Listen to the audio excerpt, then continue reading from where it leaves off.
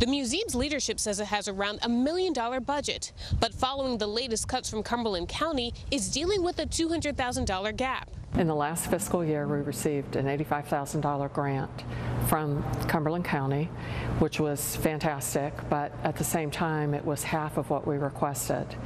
Because of that reduction, we had to uh, limit uh, staffing hours.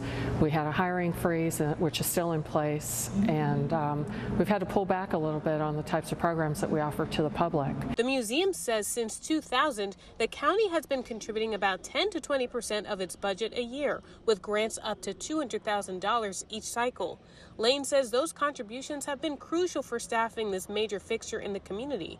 Commissioner Jimmy Keefe advocated against these budget cuts, but was outvoted on the board last month. So many nonprofits all have worthy causes, but this one touches so many people in so many different ways.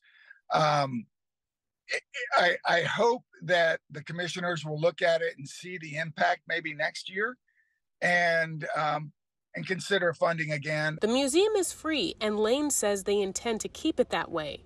But she says they'll also be working on boosting memberships and driving more donations to help keep the museum afloat. In Fayetteville, Monique John, ABC 11 Eyewitness News.